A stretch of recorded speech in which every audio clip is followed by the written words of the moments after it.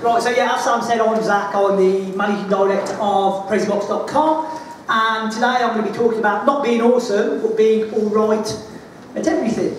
Okay? And more particularly, I'm going to say you can only be a digital marketing superhero if you are at everything. So right, what I want you to do now, guys, put your pens away, chill out a little bit, because I'm not going to give you uh, massive amounts of things that you can take away. More so, I'm going to give you, hopefully, a Churchillian type performance that's going to inspire you onto greatness.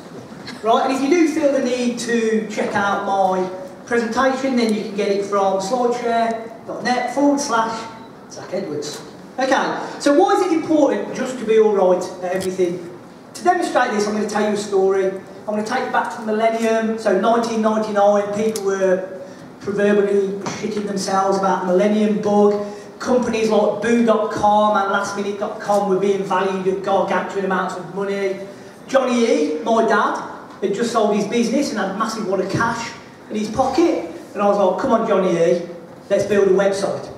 So, we borrowed a uh, mate's office, which was not dissimilar to this, glorious incantation of an office.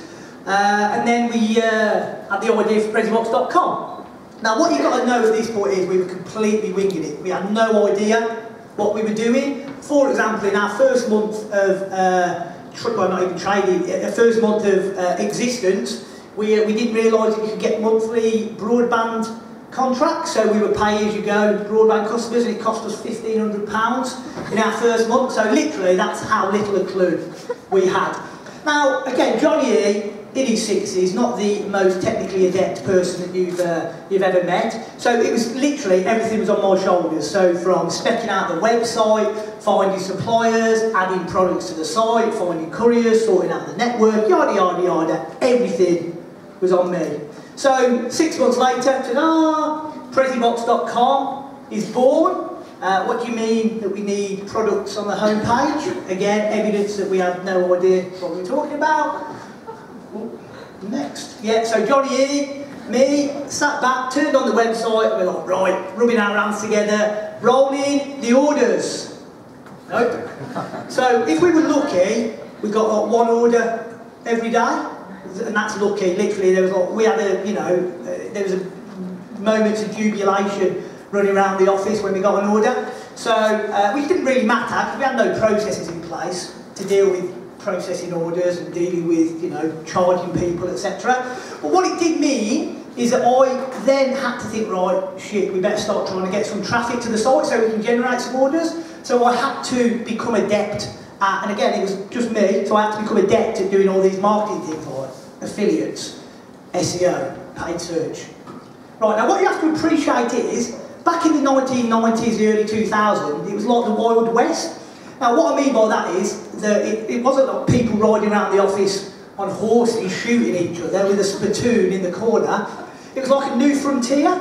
So there were no agencies as such like there are today. There were no guidelines, there was no best practices. People didn't share information like they do today. There were no conferences like this.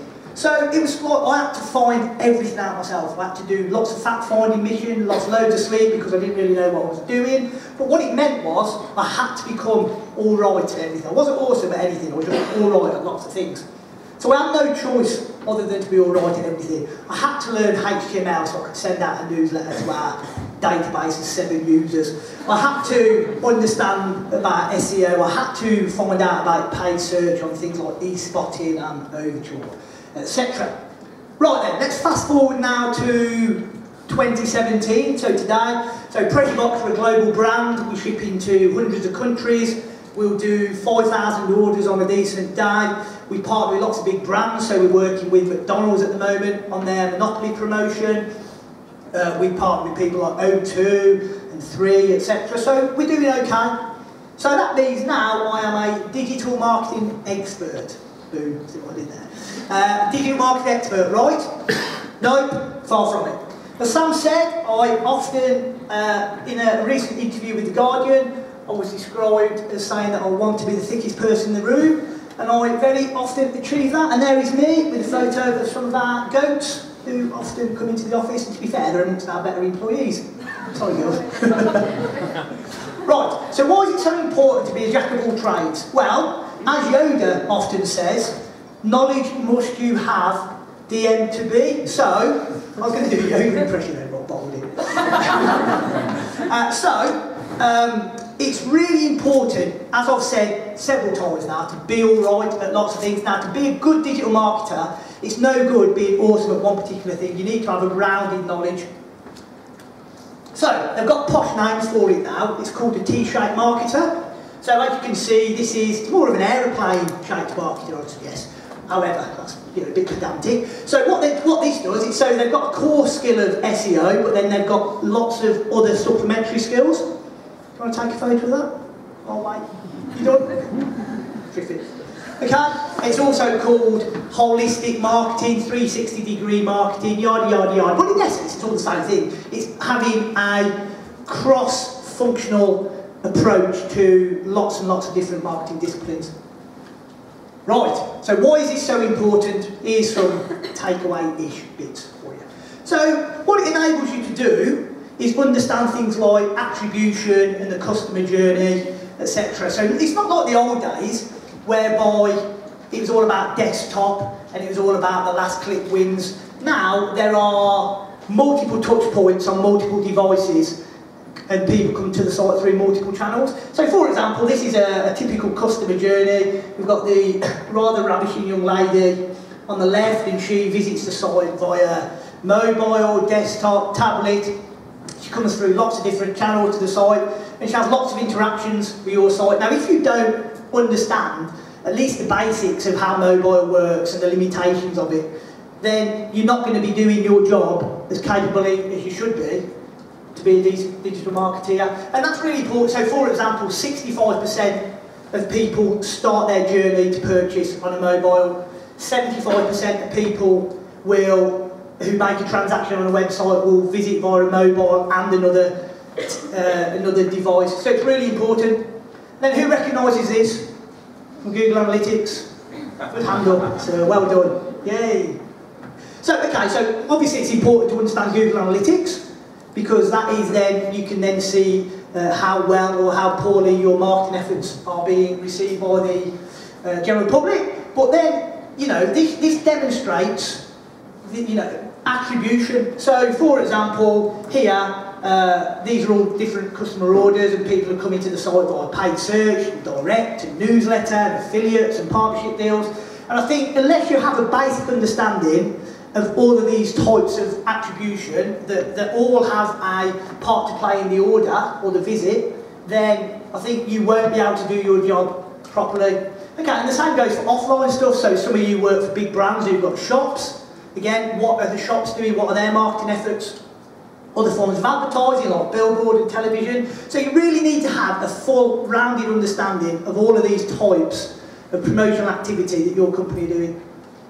Right, this is probably the best takeaway I've got. Not because it's a football picture, but it's the way I think of attribution. So attribution, I guess, if you if you were to look at last click wins, it's like scoring a goal. So the, the last click is the goal that the player scored. Now that is the way marketeers used to think. Nowadays we need to think about it as a complete football team. So a midfielder, for example, passes the ball to the forward to score a goal, the defender makes a last gap tackle, tackle. And these are all parts of, you can uh, use the same analogy for a customer visiting your website, so affiliates play a part, SEO, paid search, newsletters, social, they all play a part in the rich tapestry of a person visiting your site.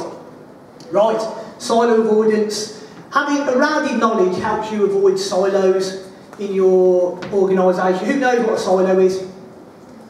Hey, Rui. you learned something there. So, a silo mentality occurs when several departments will not share information or knowledge with others. Sound familiar? So I think, so, you know, I think part of the problem is they don't know what knowledge to share. And again, that's because they haven't got a rounded understanding of what you do. So I think the more departments that have more of a rounded knowledge, especially marketing, it can only be beneficial to the company. Right, Let's talk about the dark side. Who works for an agency?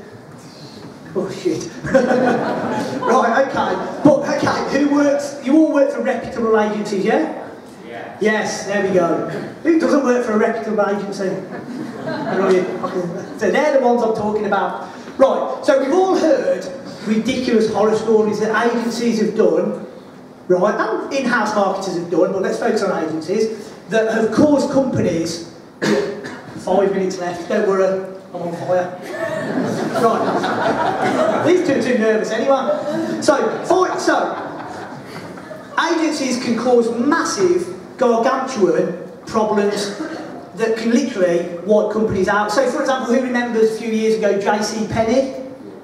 Huge American company. They were found to be buying ridiculously dodgy links that got them kicked off Google. Interflora did exactly the same thing. They bought a load of links from really non-relevant websites and they forgot to use the no-follow link.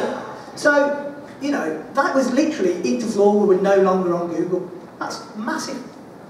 You've got to think about the complexity of that. And then, I guess what happened there is that the person who employed the agency didn't fully understand what the agency were doing. So, or the agency didn't really understand, but either way, big issue. Who remembers this a couple of years ago? House of Frasers Emotional Twitter experiment. Shocking, they're a 167 year old brand that literally one day thought, I know, let's start answering all of our tweets with emojis. And then they even claimed halfway through the day that they'd been hacked by somebody because it was just going disastrously wrong. And then Susan Album Party. there we go, enough said. I'm guessing if you don't know what that is, then uh, looking up on Google. right. Tech. So it's also pretty important to have some tech knowledge to be a decent digital marketer. Now, I'm not a tech, I'm not good at particularly anything, to be honest, but I've employed really good people. Um, one of whom is our SEO guy, Sam, sat down here, SEO, that is. SEO. okay? Right, so a few weeks ago, this is data from Prezibox our techies did something really stupid that, were, that meant we were no longer appearing on Google for any of our categories. So here's our cumulative rankings using a fantastic ranking checking tool called Pi, Datametrics. Okay, but you can see here, just before Mother's Day, perfect timing, that our Google traffic just tanked. Shocking. So luckily, Sam knows a bit about tech, He spotted it, sussed out the problem on a Sunday afternoon, and we got back up in a few days. But if we hadn't, if he hadn't known about that, we could have, you know, it, literally we lost 50% of our business over those three or four days. Massive problem.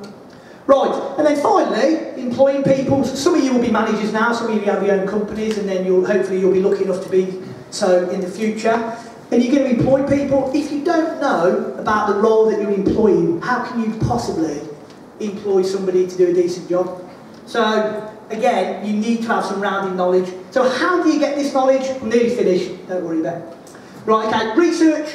Uh, it's not like 1999, 2000, where nobody shared any information whatsoever. You can find everything out about everything now. There are things like this. You can follow all your favourite commentators on whatever particular discipline you want on Twitter and on YouTube and on their blogs. You can go to TED Talks. You can read books. So literally, just research, research, research.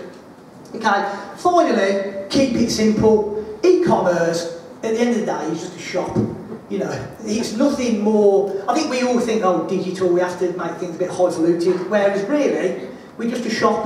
People want to come and buy our wares, so let's just keep everything really simple. That's me done. My key takeaway is, as you probably guessed, be all right at everything. Uh, if you want to ask me any questions after, fill your boots, and then I'll pass you over to the young ladies.